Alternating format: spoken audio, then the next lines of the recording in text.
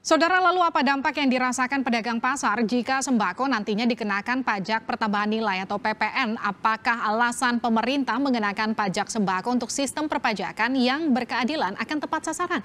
Untuk menjawabnya kami akan berbincang dengan Ketua Umum Asosiasi Pedagang Pasar Seluruh Indonesia, Ferry Julian Tono, serta ekonom senior Universitas Indonesia, Pak Faisal Basri.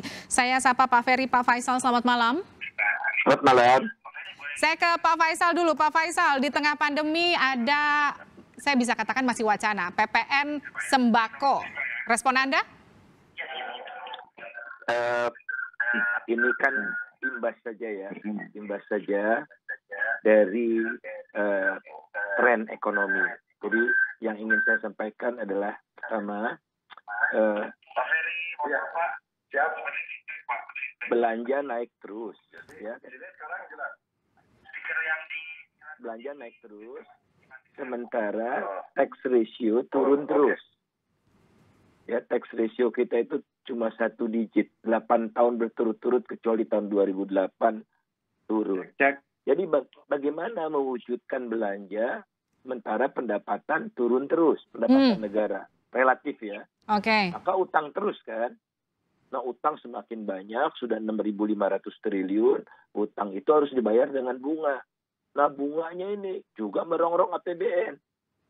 Nah oleh karena itu, kemudian yang kedua, ingat tahun 2023, pemerintah tidak boleh lagi jor-joran defisitnya harus kembali ke 3 persen. Nah bagaimana? Mau pemilu, semua uh, kementerian minta tambahan anggaran. Hmm. Untuk senjata aja butuh 1.800 triliun. Untuk ibu kota baru dan macam-macam lagi. Nah jadi Menteri Keuangan disuruh cari duit lah kan. Hmm. Begitu aja. Nah mencarinya makin lama makin susah. Nah kemudian poin ketiga saya, semakin tinggi tingkat korupsi di satu negara, semakin regresif pajaknya itu. Maksudnya regresif itu pokoknya pukul rata kaya miskin dikenakan. Nah itulah PPN itu. Hmm secara umum ya.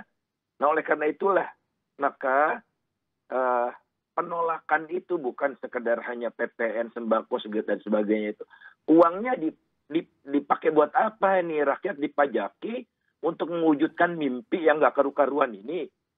Mimpi bangun ibu kota, menjadikan ibu kota baru nanti menjadi ibu kota paling hebat sedunia, hmm. mengalahkan Dubai, senjata 1.800 triliun di tengah pandemi yang belum beres-beres.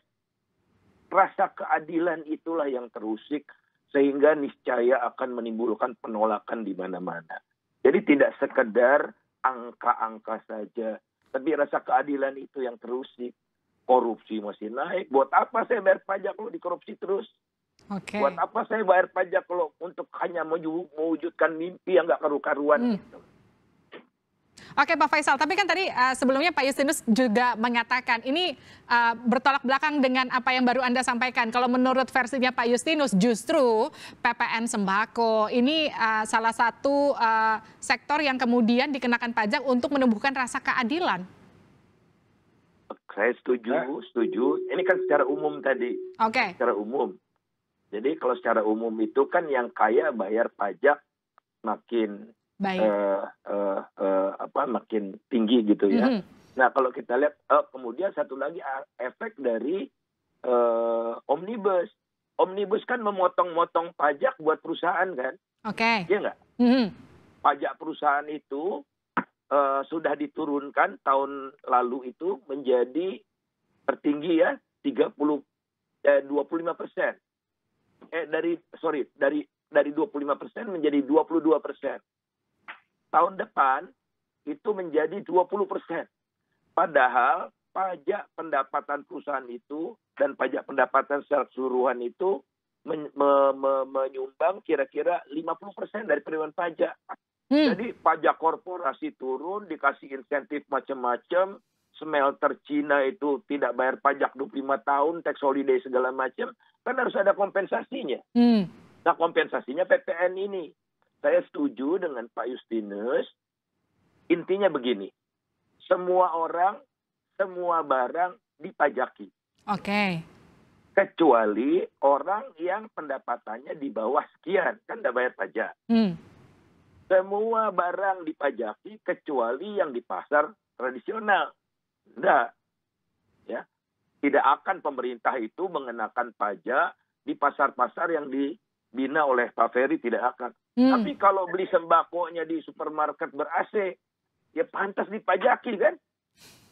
Jadi uh, uh, itu rasa keadilannya. Kemudian orang yang sekolah di di di, di, di perguruan tinggi yang bayarnya 100 juta itu ya jangan negeri swasta hmm. negeri juga banyak yang mahal gitu kan pokoknya yang mahal-mahal itu pantas dipajaki hmm. sementara Universitas Muhammadiyah NU Universitas Katolik Atmajaya pokoknya yang bayar uang sekolahnya murah sehingga unit cost-nya itu lebih uh, tinggi daripada uang kuliahnya, itu harus bebas PPN gitu Oke. Okay. Rasa Jadi keadilannya kalau, di sini. Kalau bicara soal rasa keadilannya dalam porsi seperti yang tadi barusan Anda katakan, Anda setuju begitu ya, Pak Faisal ya? Setuju. Okay. Kalau barang mewah dikenakan PPN 20 persen tidak apa-apa gitu. Sementara sembakonya kan bisa dua persen. Oke.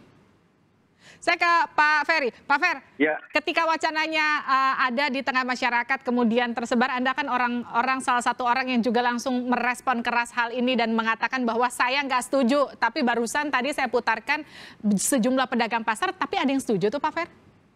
Ya, mereka mungkin yang berpendapat gitu nggak tahu persis tentang apa yang sedang terjadi. Jadi kalau menurut uh, pendapat saya, saya mewakili teman-teman pedagang pasar, pemilik warung, toko, ya masyarakat juga yang apa namanya uh, sampai ke saya, mereka semua protes.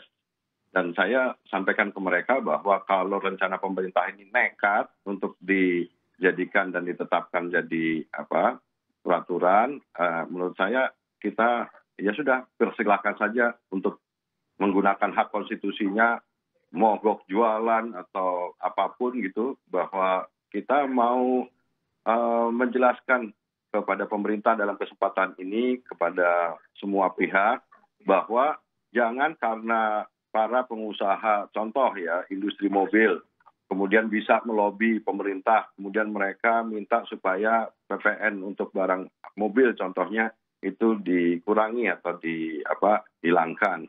Nah, itu direspon oleh pemerintah.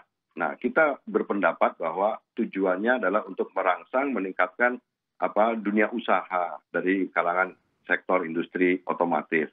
Tapi jangan dong karena kita apa namanya pedagang-pedagang pasar, masyarakat nggak punya kemampuan untuk melobi pemerintah, terus kemudian pemerintah mengenakan pajak uh, apa pertambahan nilai untuk barang-barang yang dibeli Uh, dan dijual kepada masyarakat yang kebetulan sekarang mereka masyarakat daya belinya rendah. Pedagang kalau ini dikenakan apa PPN-nya kan mau tidak mau juga harus menaikkan harga jualnya daripada menaikkan harga jual tapi kemudian pedagang tahu ini nggak akan laku dibeli oleh masyarakat itu kan gimana? Dan oleh karena itu menurut saya sebenarnya kita saya nggak setuju ada pengenaan multi tarif gitu meskipun tarifnya sekecil apa pun gitu karena memang sekarang uh, kita ini sekarang harusnya justru seperti gerakan koperasi. Sekarang sedang berusaha untuk menghilangkan distorsi dari mata rantai distribusi. Dari pabrikan kita paksa mereka untuk bisa menjual barang-barang melalui gudang-gudang yang tersedia yang dekat dengan masyarakat untuk apa untuk supaya masyarakat bisa membeli warung, toko, pedagang pasar membeli dengan harga yang relatif murah karena itu harga pabrikan. Nah, tiba-tiba niat baik kita untuk menghilangkan distorsi apa namanya mata rantai distribusi itu, kemudian pemerintah malah justru naikin tarif PPN yang kemudian itu malah naikin harga barang yang apa dikonsumsi oleh orang banyak. Jadi ini yang apa namanya harusnya dicari oleh pemerintah formulasi yang lain yang memungkinkan supaya barang-barang kebutuhan pokok, misalkan seperti sembako atau biaya pendidikan itu juga bisa uh, apa dihilangkan sebenarnya Baik. penggunaan pajak itu gitu loh. Pak Faisal, kalau menurut Pak Ferry harusnya ada formulasi lain selain dari opsi uh, dikenakan pajaknya uh, sektor sembako dan juga pendidikan juga kesehatan. Bagaimana respon Anda? Tapi nanti kita akan bahas hal ini usai jeda di Sapa Indonesia Malam. Anda kembali bersama kami di Sapa Indonesia Malam. Kita masih membahas mengenai rencana dikenakannya PPN pada sembako, sektor kesehatan dan juga pendidikan. Masih bersama kami Faisal Basri, ekonom senior. Ada juga Ferry Juliantono, Ketua Umum APPSI. Kalau tadi kata Pak Ferry ini, uh, harusnya ada opsi lain selain uh, dikenakannya PPN sembako, sektor pendidikan dan juga kesehatan. Pak Faisal Basri, apa respon Anda soal ini? Ya, kenapa sih uh, pajak kita turun, tax ratio kita turun? Karena sumber penerimaan pajak terbesar kita yakni dari industri. Kira-kira sepertiga itu dari industri manufaktur. Nah industri manufakturnya turun terus mbak. Hmm. pajak ini kan ibarat kita menanam pohon. Kalau pohonnya bibit unggul buah yang akan dihasilkan pun ranum ya sampai lebat buahnya. Tapi kalau pohonnya tidak bibit unggul itu tadi yang bibit unggul itu industri manufaktur industri manufakturnya turun, ya penerimaan pajak turun. Kemudian identifikasi ada dua sektor yang uh, uh, pajaknya itu banyak jebol. Hmm. Apa itu? Pertambangan dan konstruksi. Jadi kalau pemerintah fokus saja ya di manufaktur, industrialisasi digencarkan, pertambangan dibereskan, jangan ada rente-rente yang banyak itu, kemudian sektor konstruksi dibereskan, itu penerimaan negara akan meningkat. Oke, daripada nah, memperluas sektor yang kena pajak ya Pak? Kenapa? Kenapa? Karena oligark-oligark ada di situ. Hmm. Coba Anda bayangkan, smelter China yang di Morowali dan di Sulawesi Tengah itu bisa bebas bayar pajak 20 tahun, pajak penghasilan perusahaan itu. Pegawainya nggak bayar pajak tidak bayar PPN, tidak bayar royalti, hmm. semua produknya diekspor. Kacau. Jadi semakin besar sektor ekstraktif, nilai tambahnya rendah, ya penerimaan pajaknya rendah. Ayo kita buru. Kemudian ada pengusaha-pengusaha dan individu-individu yang kaya sekali tidak ikut tax amnesty kemarin. Oke. Okay. Nah, uh, bukannya dikasih tax amnesty jilid dua harusnya kan? Hmm. diburu mereka. Udah dikasih kesempatan bayar pajak dengan benar tidak dimanfaatkan. Saatnya sekarang memburu bukan memberikan jilid dua pengampulan jilid dua. Nah tapi ginilah. Rezim ini kan dikuasai oligar. Oligar itu diporoti terus oleh partai politik ya minta mereka minta kompensasi. Kira-kira seperti inilah. Jadi yang paling gampang rakyat lah yang dipajaki. Jadi yang paling gampang dikenain pajak ya menurut anda ya Pak Faisal ya?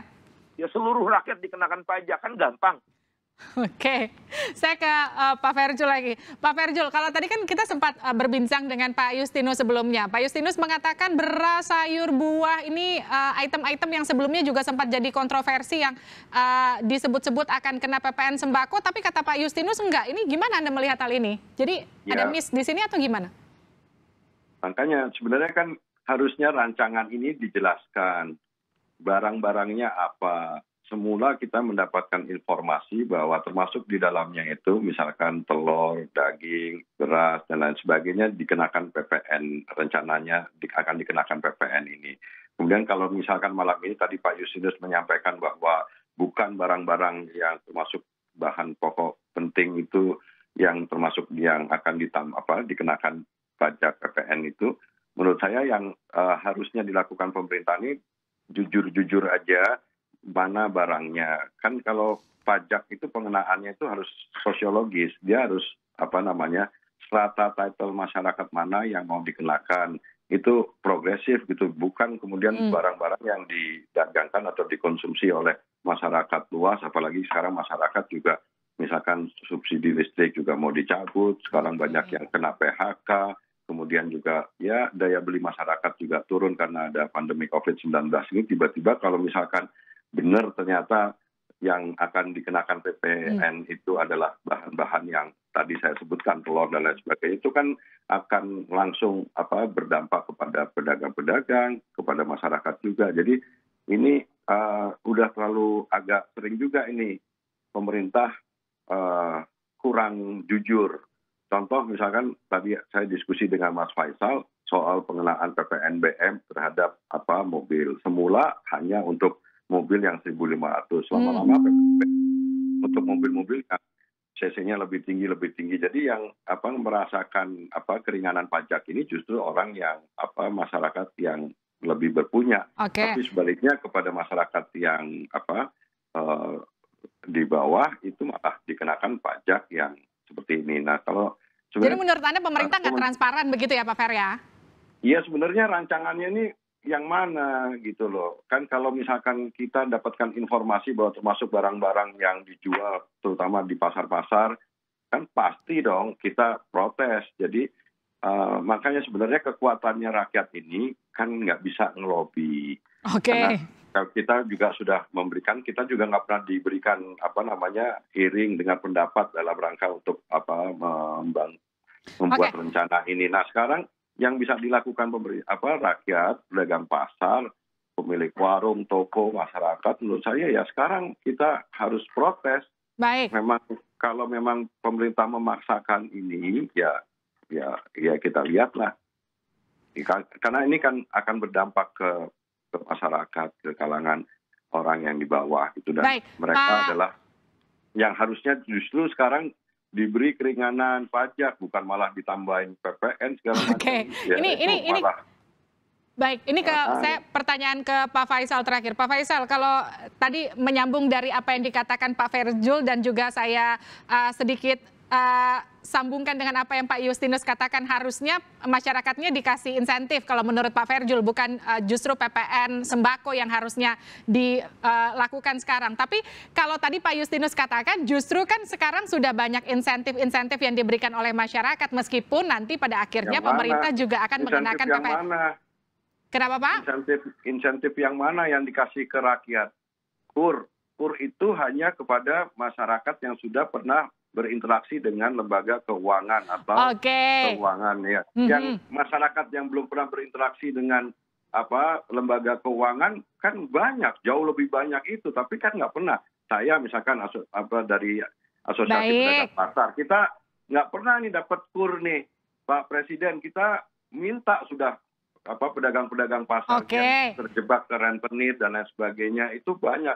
Jadi ini sekarang koperasi-koperasi pedagang pasar, paguyupan-paguyupan pedagang pasar, semua ini Oke, saya apa ke... namanya butuh dukungan langsung dari pemerintah. Insentifnya belum ada. Oke, saya ke Pak Faisal ini terakhir. Pak Faisal, artinya kalau tadi pemerintah bilang belum sekarang kok. Jadi apa yang harus ditekankan pemerintah sampai kemudian ini draftnya digodok di DPR sampai kemudian nanti disahkan? Ya belum sekarang saya katakan 2023. paling lambat menjelang pilpres karena 2023 pemerintah tidak boleh lagi defisitnya di atas tiga persen. Hmm. Ini saya dapat dokumen dari pemerintah ya dari Kementerian Keuangan resmi ini resmi. Okay. Ini dikatakan di sini ya seluruh ini saking kecilnya saya pakai kaca pembesar maaf. Hmm.